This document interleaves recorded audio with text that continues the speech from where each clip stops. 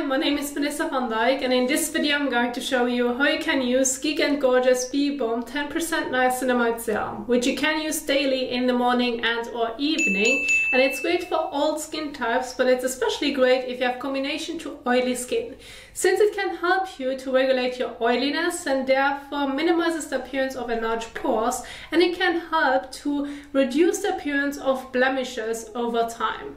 Now when working with this serum you need to make sure that you're going to adjust the skincare routine accordingly to the time of use and your skin type.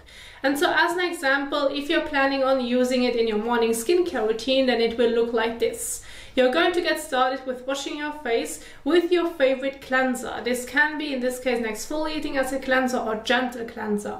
Just make sure that it does not dry out your skin nor irritates the skin in any way. Once you're done with washing your face, you can go ahead and move on to a second step, which is optional, which would be an hydrating and soothing toner. So if you have an hydrating and soothing toner at home, it's going to be your second step after cleansing.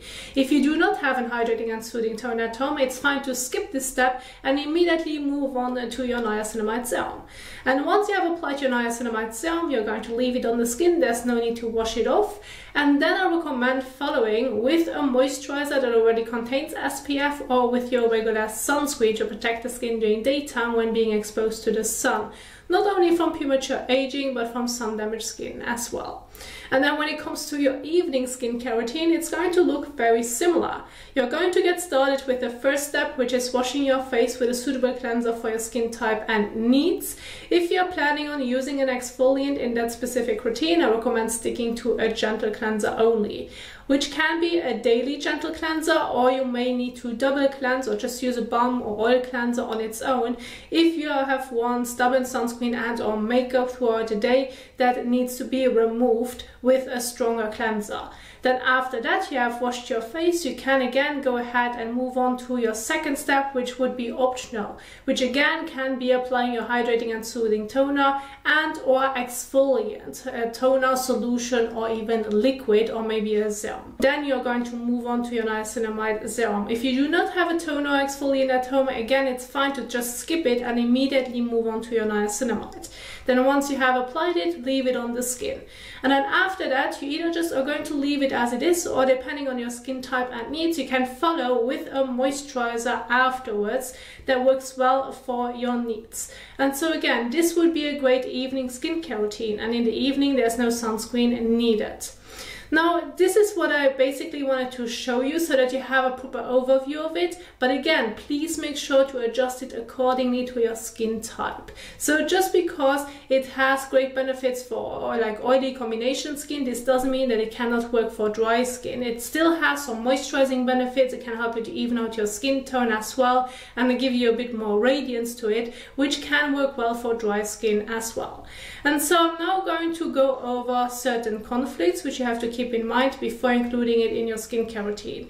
And this is, first of all, please do not mix this niacinamide serum with exfoliating acid solutions, liquids or serums. So please do not use a few drops of your niacinamide serum and your exfoliant and mix it in the palm of your hand. You're fine to keep them separate in the sense of layer one after another, but please do not actually mix them together.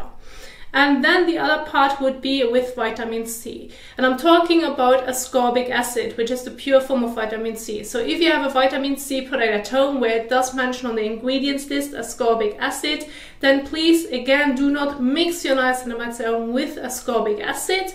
And my best advice would be keeping them in separate routines. So to make sure that you get benefits out of both ingredients and since it is a very controversial topic if you can or cannot use them together my best advice would be keeping them separate. For example using your vitamin C serum during daytime and your niacinamide in the evening or vice versa to make sure that you get the benefits out of them. And so those are the conflicts that you have to keep in mind when working with niacinamide and so I'm now going to get started with the application so that you can see it step by step on my face as well when trying this out at home. So again, we are going to get started with the first step, which won't change. Doesn't matter if you're doing this in the morning uh, and or evening. Your first step is always going to be washing your face with a cleanser. But again, if you're planning on using an exfoliant, please only stick to a gentle cleanser. If that's not the case, then you can basically go with any cleanser as long as it's working well for your skin type and needs. I have a few examples right here from Cetaphil, CeraVe, Geek & Gorgeous, or the ordinary balm cleanser. Of course, you need to adjust it accordingly to when you're going to use it and do your skincare routine. And so I'm going to stick to Geek & Gorgeous Jelly Joker Cleanser, which is great for all skin types. This is just an example. If you have a different one at home that works really well for you, go ahead and stick to it. Just please make sure to read the directions on the back of the packaging to make sure that you can use it properly. Either apply it on dry skin or on wet skin. Those are the directions which usually can change when using a cleanser. And so in this case, I um, need to apply this cleanser on wet skin. So the first step that I'm going to do is now wetting my face and neck and hands with lukewarm water to warm water and then use the cleanser onto wet skin. So let's go ahead and do this.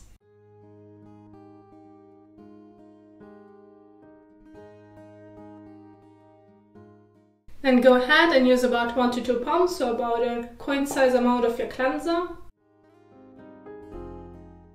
about that much. Use it between your hands and then evenly massage it all over your face and neck for about 30 seconds to a minute.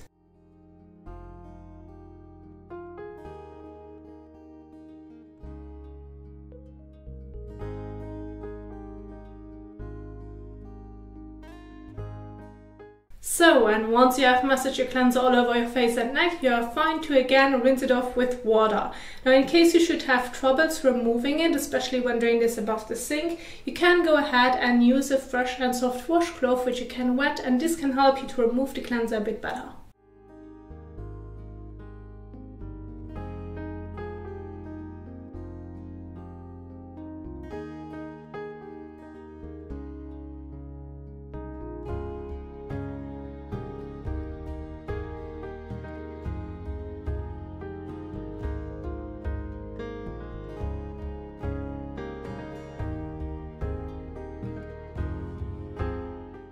So and go ahead and take a fresh towel and pat the skin dry.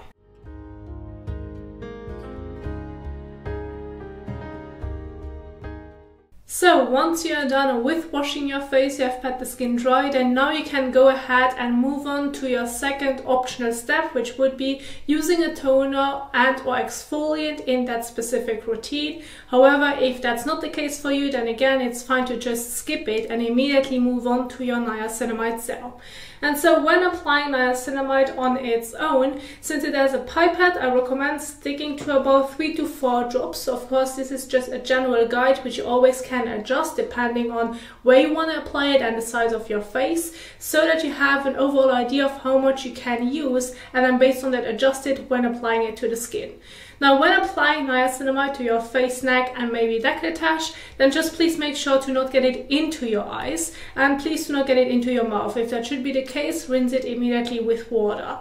Now you're fine to use it on the eye contour. However, if you know that you have already a sensitive eye area, I recommend being careful with it so that you won't irritate it in any way because we're working with a 10% niacinamide serum. So for some people this may work really well, for others you want to avoid it if you feel like you have sensitive eyes all over. And so when now using your niacinamide serum, you can either go ahead and use a few drops in the palm of your hand on your fingertips or immediately place it onto the face and then blend it all over. Whatever method works the best for you, go ahead and do this. So, and then go ahead and blend it evenly all over your face, neck and maybe décolletage.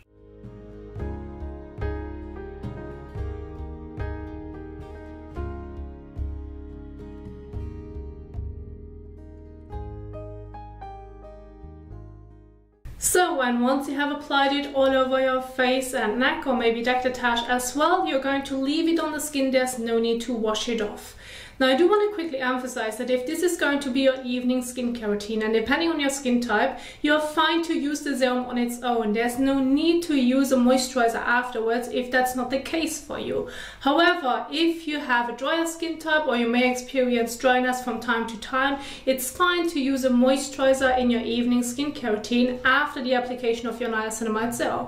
And so then go ahead and make sure that you're using a moisturizer that's suitable for your skin type and needs. So either a richer one or like lotion or either a gel and then use about a pea size amount more or less. If you have a drier skin type, you probably want to use a bit more. So about that much more or less. If you feel the need to use a bit more, go ahead and do so. And then apply it evenly all over your face and neck on top of your niacinamide serum. And so this would be then an example of an evening skincare routine on how you can adjust it depending on your needs. However, if this is going to be your morning skincare routine, which I now want to keep my focus on, then it's important to use sun protection during daytime. And again, either with a moisturizer that already contains SPF or with your regular sunscreen. And so make sure that you're going to use a moisturizer with SPF or regular sunscreen accordingly to your skin type and needs, that it feels comfortable on the skin and that it does not irritate your skin in any way because sunscreen should not sting uh, your eyes, it should, should not sting on your skin in any way, it should feel comfortable. And so I have two great examples right here from Cetaphil, which is their moisturizer that already contains SPF, or the, or the Nivea sunscreen. And so I'm going to stick to Cetaphil's moisturizer with SPF, which is, for example, a great example if you have like combination to oily skin.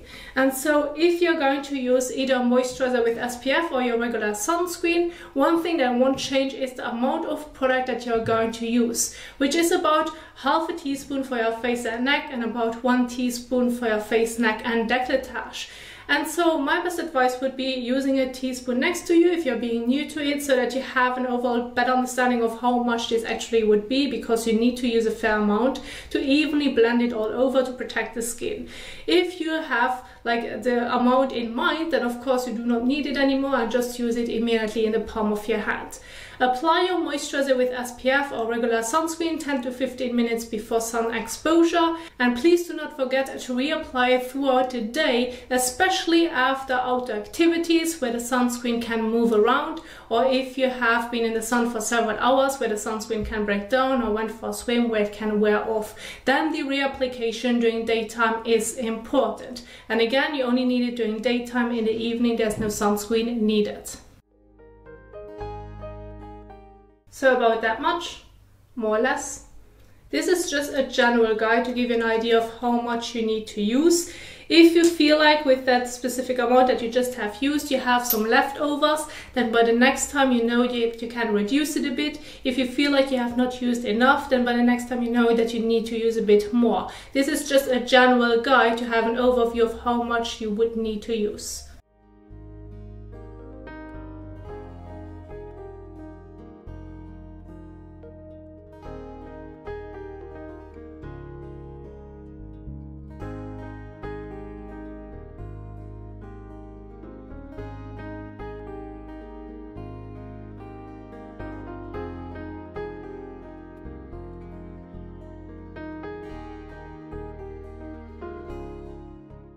So, and once you have applied your sunscreen all over, then again, there's no need to wash it off. You're going to leave it on the skin.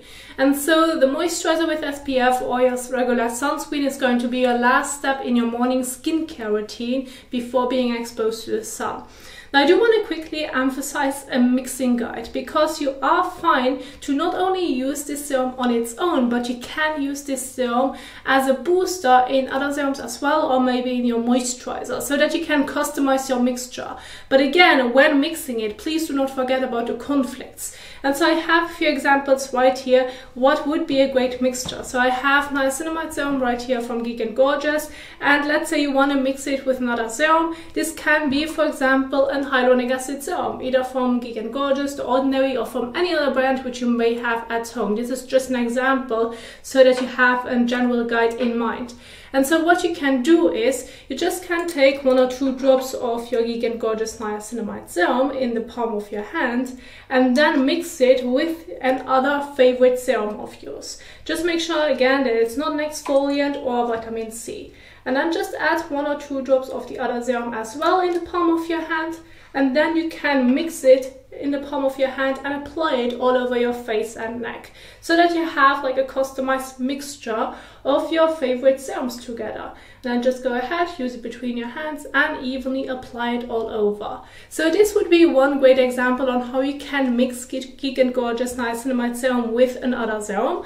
However, you can go ahead and do this as well with your moisturizer. So let's say you have a moisturizer that does not include niacinamide or just a little bit and you want to give it a boost of your niacinamide serum so that it may feel better on the skin for your skin type, also that you can save a step and you basically can apply everything all at once. Then that's fine too. So let's say you have your favorite moisturizer at home. Again, this can be from any brand. This is just an example. Use about a pea size amount of your moisturizer, more or less, which again depends on your skin type and how much you actually would need to use. So about that much. And then again, go ahead and add from your niacinamide serum about one to two drops, maybe three drops, which of course depends on your preference. I just wouldn't use too much of it so that you're not going to waste too much product.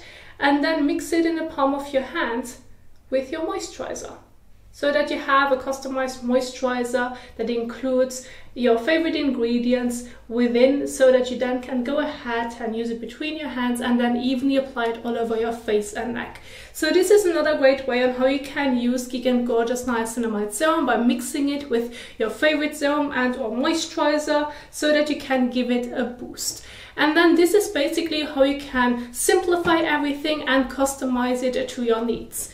And so this is what I wanted to share with you on how you can properly use Geek and B-Bomb Niacinamide Serum. I do hope that you find it helpful. If you want to have a look and a closer look at the example routines that I have shared earlier with you, I'm going to list them in the description box down below where you can download them and then use it as a guide.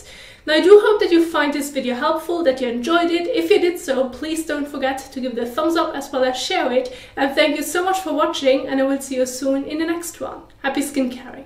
Bye!